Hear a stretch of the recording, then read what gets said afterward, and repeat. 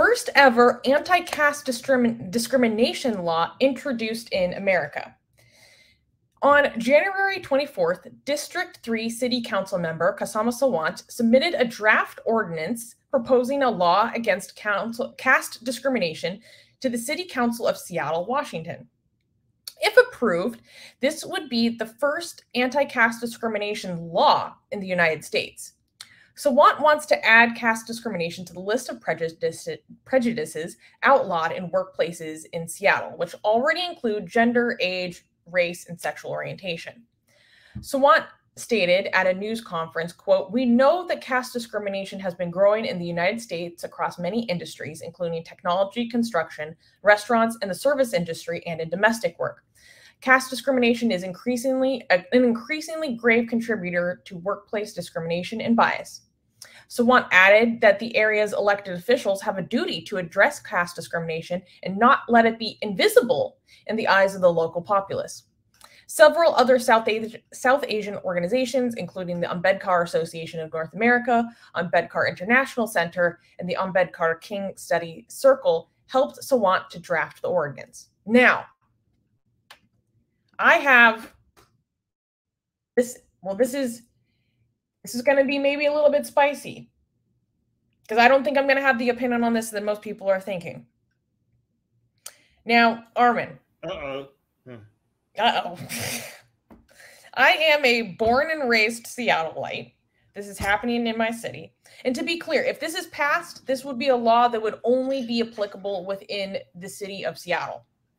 Only in the city of Seattle. Now, I tell me if my thinking is wrong. I am I don't know how to feel about this. Wait, your audio got cut again because your crappy Wi-Fi in your hotel. Can you repeat your question again? Okay. I don't know how I feel about this because I hate this city council member so much. Oh, her? Like I passionately dislike this specific politician because of all of the other BS she has pulled in Seattle. So mm-hmm, I don't mm-hmm. know how to feel about this because well, I don't like her. And okay. she, yeah. she is a pardon the expression, but this is just how I feel about it. This woman is like a psycho socialist. The best okay. news that I heard when I was researching this news is that she announced that this will be her last ever term as a Seattle City Council member. I was like, thank God she's on the way out. So, because I don't like her, I don't like her agendas. I don't like her. But this her action is good. Things. Do you think this action is good? Sorry, I'm losing my mind. Um, I'm like asking you, but this one action of her is good, and you're like.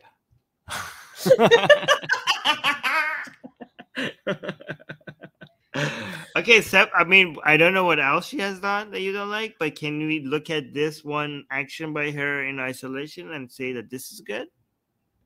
Okay, I did not read the language of the ordinance itself. This is just proposed Okay, this still has to go through an entire process to get improved by the Seattle, the entire city council. I don't know if it will be. Um, I'll read that comment in a second. Um, and so, yeah, to be to be honest, I did not actually read the language of this proposed ordinance, so I don't know if there's some stuff in there that I wouldn't be into because they can sneak some things in there in and general, I feel like she probably I think snuck this, some socialism into this. Separate the consequences of this from the individual. The individual is uh, her own judgment. This yes. action itself is going to bring attention to um, anti-caste discrimination. So this by itself is a positive. The fact that more people are going to be aware of how significant anti-caste discrimination is. By the way, guys, for people who think that we are anti-India for bringing attention to anti-caste discrimination. Okay, So we, I, may I remind you that casteism is an Indian thing, but anti-casteism South Asian, South Asian. Okay, it's a South Asian thing, sure, but so is anti-casteism. So sorry, yes, so anti, no, sorry, the fight against anti-caste discrimination. That's what I should say. That is also an East Asian thing, South Asian thing. As in what I'm, as you see in the picture on the screen, okay, um, you you don't get more Indian than Dr. Ambedkar, and Facts. Dr. Ambedkar was, yeah. When I think India, I don't think caste discrimination. I think Dr. Ambedkar, and Dr. Ambedkar. That's hot. is Dr. Ambedkar is as anti-caste discrimination as you can get. So, mm-hmm. so bringing attention to these issues in India, that's not anti-India it's you know because we also get Dr. Ambedkar mm-hmm. from India. Yes, mm-hmm. okay. Um, Noman from Noman, who's in India, is saying I am anti-India. and then young atheist who's in Pakistan is I am anti-Pakistan. oh, guys, don't do that. No, no, no. No, but I mean, I think what they mean is they're anti-nationalist.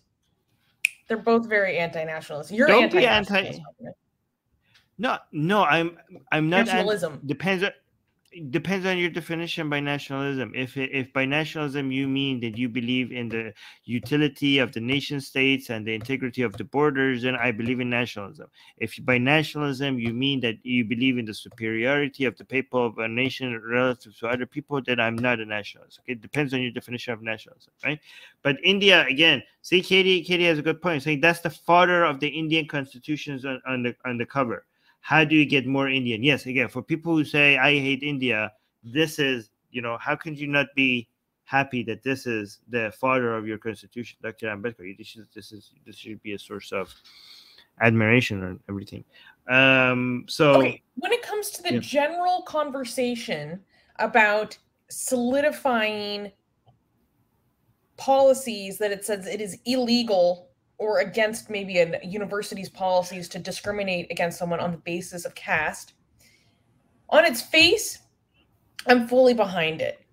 However, I have to say that I still have a lot of questions remaining about how that would be implemented in real life. The language of that is really important. And we have to be honest in I mean, that's not very necessarily the word I want to use. People have genuine concerns that an anti-caste discrimination policy would basically submit South Asian people for an extra level of scrutiny that other that wouldn't apply to other groups. And I think that could be a genuine concern. And um, I still have questions about how that. That sounds more like Christians feeling that they're being discriminated against because of, um, you know, fighting discrimination against LGBT, for example.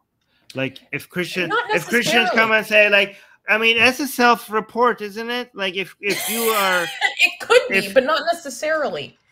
It's a self-report because if you are Christian and we have anti. Um, LGBT discrimination laws and like, hey, I feel personally attacked. I like, well, that says something about you now, doesn't it? right. So again, I think like if you have anti uh, laws that is fighting a caste disc- anti-caste discrimination, and you're like, well, I think you're targeting the Hindu community. I'm like, well, that says something you know, maybe a little bit of something about the Hindu community if you feel like you're being personally targeted with this law.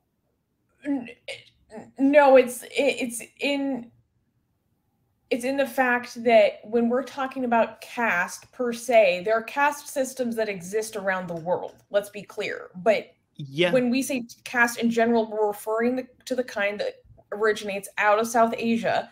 So when institutions or a city is making a law talking about preventing a certain kind of discrimination, they have to define what that means, and they are defining that it originates from a specific part of the global community.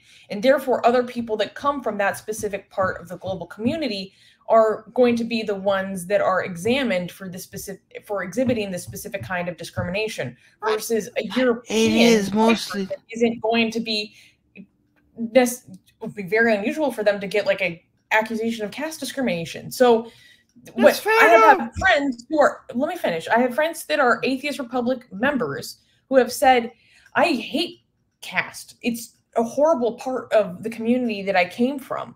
But I have questions about will they be scrutinized more than other people because they come from a South Asian community? I think that's a that's a fair question, and and I'm that doesn't mean let me finish that I'm going to throw the baby out with the bathwater, right? I still think that overall this is probably a good thing worth pursuing, but I believe that that is a genuine question that needs to be considered carefully. I think that's a fair position. Yeah, I mean, I think that it's just it's fair to be kind of weirded out by me going out and asking Indian people, Indian person, if they are a white supremacist. Okay. So that would be like, what are you talking about? Okay. So, in the same way, it would be weird if I go ask, you know, a Swedish person if they are anti Dalit, you know, if they have something against Dalit. so, I mean, this is stats, this is reality. I don't know what to do. But that that's what's different the the laws or policies that we have on the books do not use the word like supremacist like aryan supremacy it's like not that they're again it's it's about race in general which is broad and generalized and globalized to all peoples so that a racism towards one person it's not singular it could be going both ways da da da whereas the caste is very specific for the cast is very specific towards one community it's a difficult question. I'm not sure. I'm not sure what the answer is, but I don't know. I like to you know think about these things more com- in a more complex way. But that comment I want from to, Prometheus. I want to acknowledge as much as me and Susanna get accused for being anti-Indian, most of the anti-Indian sent you know sentiments here on Atheist Republic comes from Indians in our live chats. okay, so it's not it's not me and Susie. Um, Get my best-selling book, Why There Is No God, for free. Click on the link for it in the description.